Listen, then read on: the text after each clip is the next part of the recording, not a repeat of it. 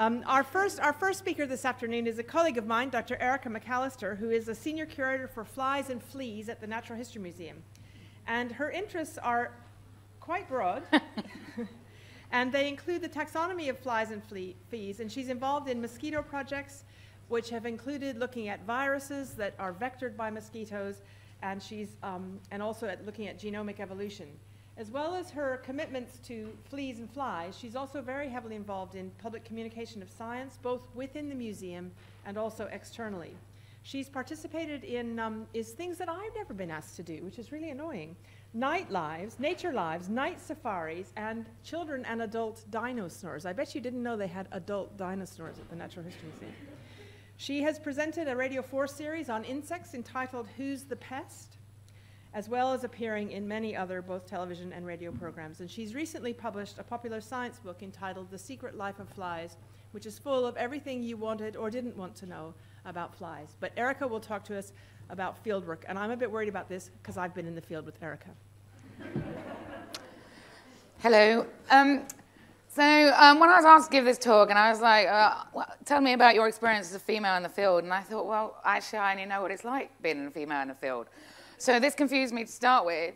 And then I thought about lots of topics I realized I could not talk to anyone about because there's all the things that go wrong, which we, we, we talk about in the pub, but it's totally not appropriate for the Linnean Society. But then I thought I would, I would bring some of the silly stories and some of the reasons why we do field work. So when actually thinking about it and, and trying to figure out were there differences between males in the field and females in the field, there may have been previously, but I'd like to say I think there's very few now. Apart from the obvious public perception of what we all look like in the field. And as someone who does a lot of tropical field work, this is just ridiculous outfits unless they've managed to find the one place on the planet where there's no mosquitoes, which as the person who goes around the planet trying to find mosquitoes, I'm quite amazed by that. So the skimpy clothing, the, the males looking all butch and fantastic, and no offense to many of the male field biologists, I rarely come across this. It has to be said.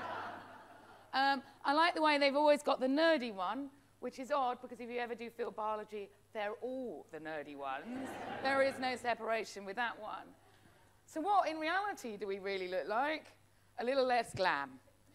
Now, I tried to get a really like cool one of me with my machete, and I just look a bit, wrangled. I, I'd just been kind of walking through the jungle. A group of students were just about to turn up. We'd, we'd done the thing that uh, supervisors do. We got lost on our first day. We came out of the jungle looking like idiots, slightly feral, and all the students are like, you're going to be looking after us for a month? And they'll ask with our machetes going, of course. Now, to be fair, buying machetes is still one of the best things you could possibly do in field work when you go into a shop and like, I'd like six machetes, please, and that's great. Um, but one of the things they don't tell you when you go home and, you, and everyone's like, God, what were you doing? Cutting up snakes and whatever. And I'm like, no, actually, I'm cutting up plants. Because plants harbor some of the worst things you could possibly have, and that is caterpillars. So actually, I'm more worried about deadly caterpillars in the rainforest than I am about jaguars. We don't look so glamorous when we're doing our field work. Um, I just can get myself covered in muck from the moment I start. This isn't just muck. I'm an entomologist, and we use various baits, and um, that's a little bit of bait smeared on me. I'm not going to tell you what the bait is, but it was personal to me. So, and obviously, we, we drive around like idiots, stopping at the side of the road when some botanist says, get out the car now, and we have to go and hoover a plant. So we're not exactly what they look like. So this brings me on to what we used to dress like traditionally. This arguably is the grandmother of uh, field biology, of entomology. This is an amazing German. And I sit there and I moan about what it's like to do field work the first time this woman did field work, she was 52. Okay? She was 52 and she went to Suriname. She went to Suriname at 52, 300 years ago. We moan about the facilities. We moan about permits. We moan about getting on a plane. Do you know how long it would have taken her? And she took her daughter. I can't imagine taking anything worse than your own relative into the field. So it's like what this woman did. And she was fantastic. And we're still using her work today. The value of her field work is immense. She was the first one to document life histories of these uh, Lepidoptera, the butterflies and moths, and the first one to talk about host plants. So she's an amazing woman. I, on the other hand, I didn't have to worry about so much. Probably the toilet facilities were the same then as they were here. But as a young 21 year old, my first experience of doing field work uh, outside of the UK was to fly to Australia. It was a kind of a break or make move. I'd never been on a plane before. I, I had never encountered dangerous animals, and yes, the Australians were like that. Uh, but it was an amazing experience to go in the outback and do that. But one of the first things as a female that I get asked about doing field work is the uh, toilet facilities pretty much straight away you realize there's none. Or if you're unlucky like me and you're a female and you go to a country where they're very proud to have you as a scientist and a bit freaked out that you're a female, they offer you the worst toilets on the planet. I can honestly say I've been around the world and used the worst toilets, and my worst experience was in Tajikistan, where I swear the female toilet was last used when the Soviets ran the country. And I can tell you this because the tissue paper, or sorry, the newspaper beside the toilet was from that era. Now, there was no lights, which is probably just as well. But it may have made a really good sampling habitat for me. But most of the time, we don't worry about that and we, we go au naturel. Other things we have. Historically, females themselves weren't allowed to do much of the work. We're weak, we're feeble, we're quite pathetic, and we had to rely on field assistants to do most of this for us. Now, this, this caused a lot of issues because um, anyone, if you're a field biologist, you want to get in yourself. You want to get there and you want to know it. You want to play with these specimens. You want to go and rip and tear and maim and have fun in the field. But going back to Eleanor, uh, she was an entomologist, um, an English entomologist who did amazing work looking at pest insects in the UK. But I love the fact that when she wrote her, her book talking about it, the, the rural community would have debates about whether to help her to see whether her work was feasible enough, whether she was doing something valuable. I wonder how many men had their work queried in this way. But she eventually got these people to help, and it's fantastic. And it's something I still utilize today by taking loads of students with me because deep down I am quite lazy and I like doing the fun stuff, and I might as well get them to do all the, the hard stuff. But this in itself, there's challenges in the field trying to coordinate, I don't know how many of you have done this, trying to coordinate your research effort and encouraging the next generation to go on. Every time I take a group of students, and it's generally a mixed group of students, to 12 year olds when I have to persuade them to put a net over their head and let the spiders fall down into their hair, always causes a little bit of problems. Give me half an hour, and then that's it. They are putting their nets over their head. They're like, when can we kill? I'm like, we should maybe not use the word kill. We are, we are euthanizing for science. This is all research. Yes, but when can we kill? Okay. And I send them back round to their parents and teachers across the world, hoping that I'm not going to be sued or the museum is going to be sued. Another very inspirational lady when it comes to doing field work, when it comes to her impact in science, Mary Anning. Although not an entomologist, I still have a lot of enormous amount of respect for this woman and what she did. And I love reading the stories about how she did all the crazy field work. She was just throwing herself up and down the cliffs in the worst of weather. I didn't do anything. In the worst of weather, she was doing all of that. She was excavating some amazing finds, and her inspiration, her knowledge, is still so valid today. She was um, very badly shunned by the male community, the male research science community at the time. A lot of her work was taken off her. She was never accredited for it. And basically, the only male I believe that she really liked was her dog, Tray. So, which is fine, I understand that. But I'd like to think about now is actually us females in the field, us females in science, do not have to face the same barriers that she does. I do not have to justify myself being a female to do my research anywhere. There are still definitely ceilings we need to break, But there are things that actually we're very good at as a sex, and one of those is communicating that I can use a lot to my advantage in the field. So in Indonesia, I'm traveling around with a group. I obviously don't speak Indonesian. I'm having to rely a lot on weird communication. And I wanted this man's cowshed to go collect mosquitoes from, and he was like, "Who's this crazy woman?" I'm like, "Yeah, I know I'm crazy, but I still want your cowshed." And annoyingly, we discovered there's a really good way of communi- communicating with fieldwork, and I do this with every bit of fieldwork I go on. Actually, is I bring up the language of football. Now, football has annoyingly got me in more places than anywhere else. I bring up Man United. I haven't got a clue who's playing for Man United. I can mention a few names, and suddenly I'm let in. And that starts me off, and then I'm back down. And it's amazing. And he let me go and sample in his cowshed. And I have to say, this is one of the few times that I really did question whether I wanted to be in science.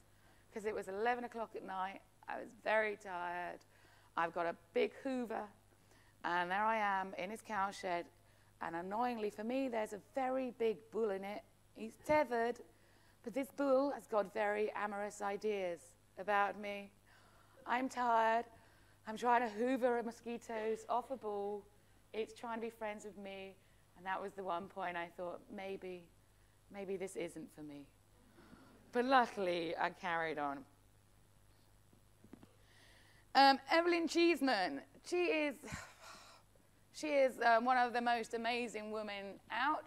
Um, Evelyn Cheesman, she um, suffered from an age that still didn't let her into uh, a lot of societies uh, doing what she wanted. She wanted to become a vet. Um, luckily for us, she got turned down. She went away, the war happened, First World War, and she came back and she was the first uh, female hired at London Zoo, and she ran the insect house. And from there on in, history is done. She was an amazing woman. She encouraged everyone to bring her new insects in she worked with the community to show them what was going on. She did all sorts of things. And then she got the travel bug. And she explored everywhere. She was amazing. She went to the South Pacific so many times in all those areas. She brought back over 70,000 specimens. One of them is this one up here.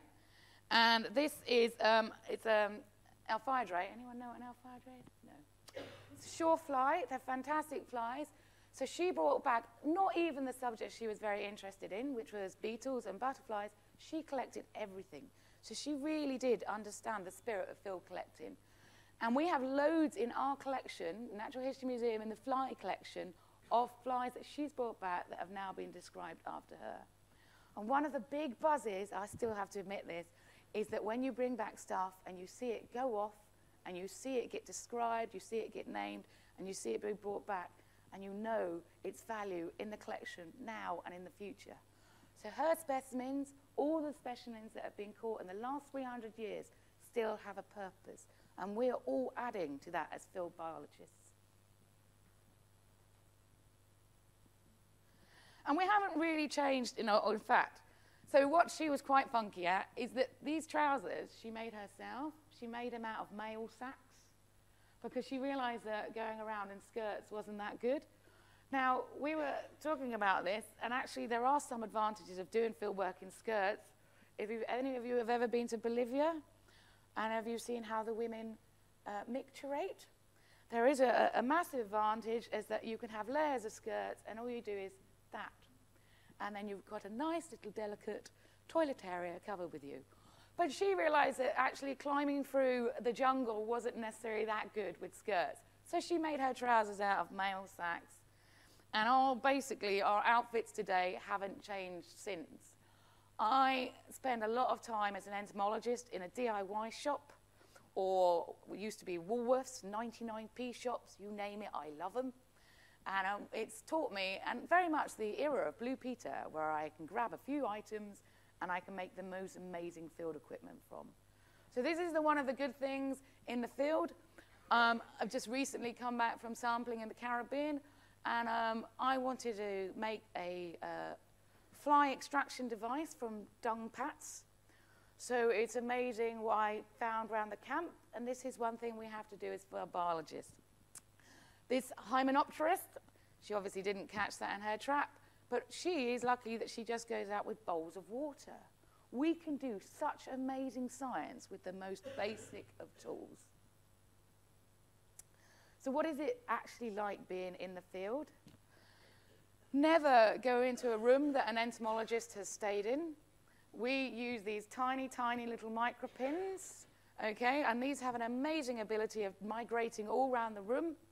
I've often sat on the tube and gone, oop, and removed one from my bra, much to the horror of the other travelers.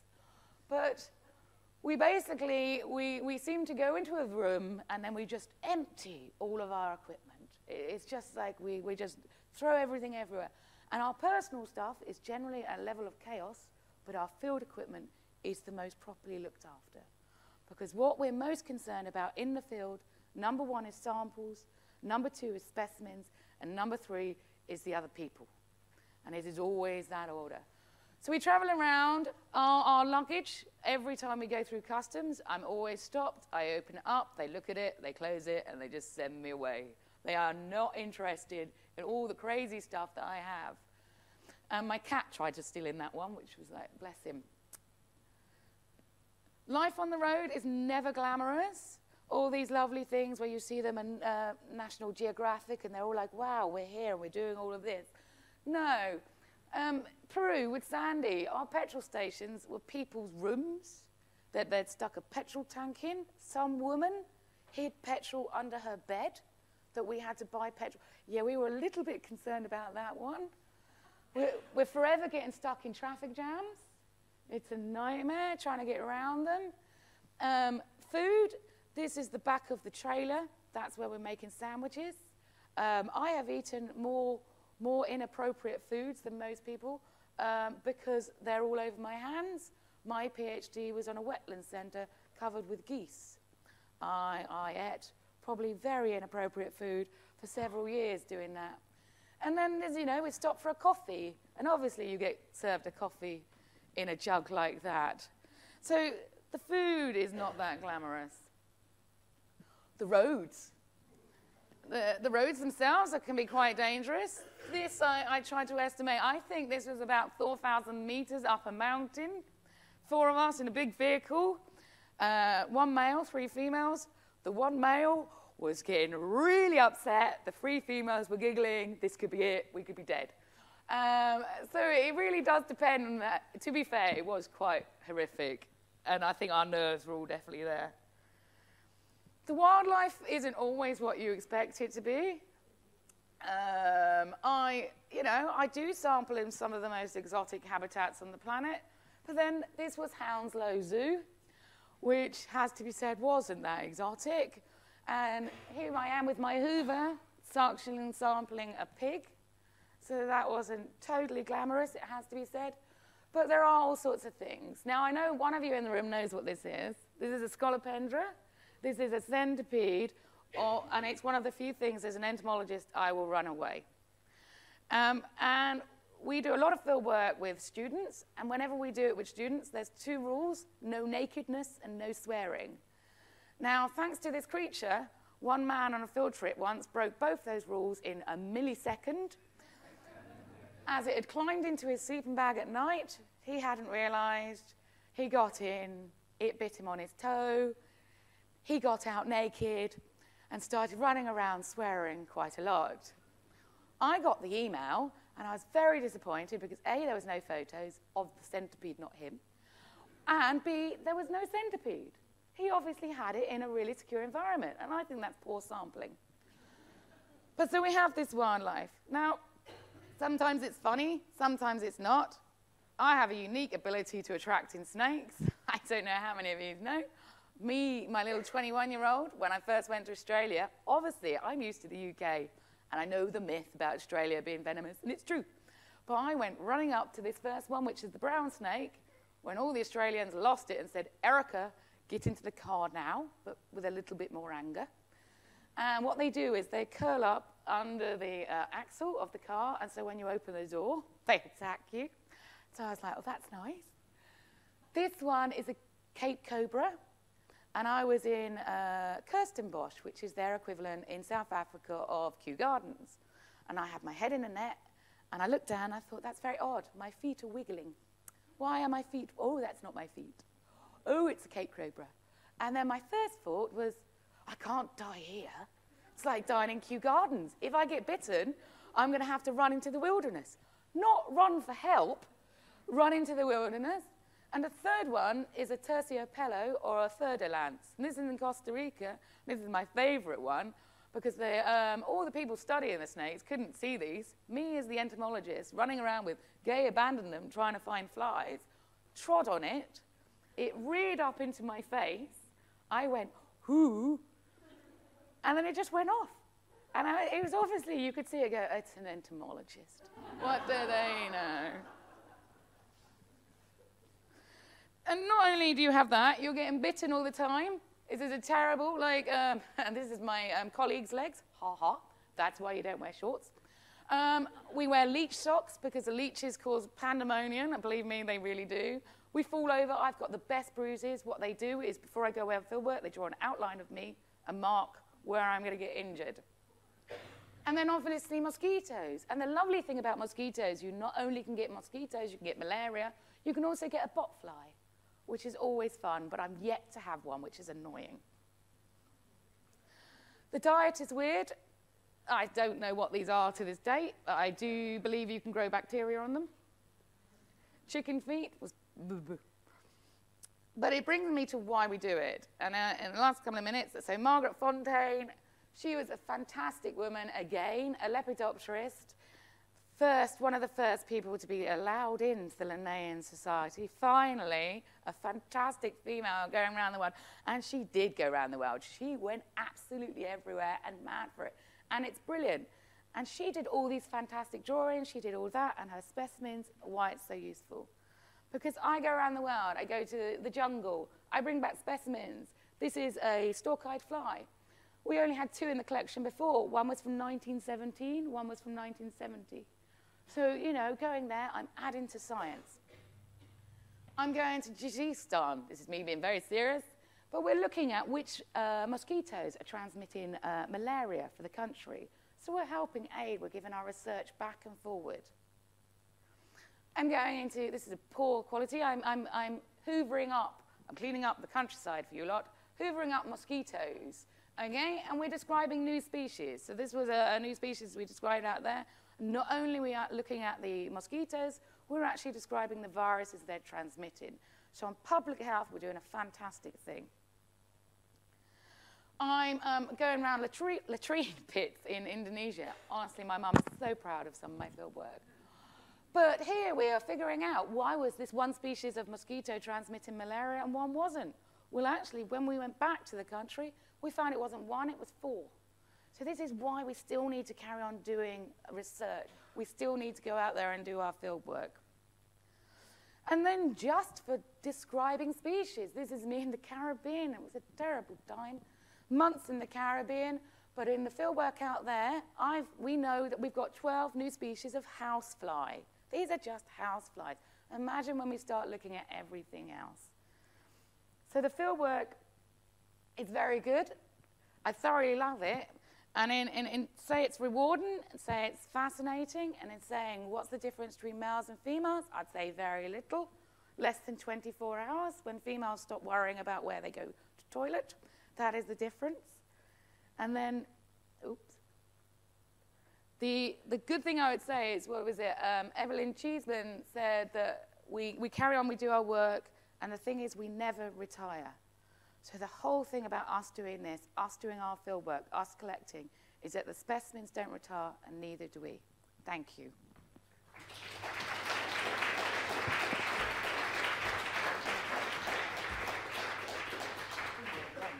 Thank you very much, Erica.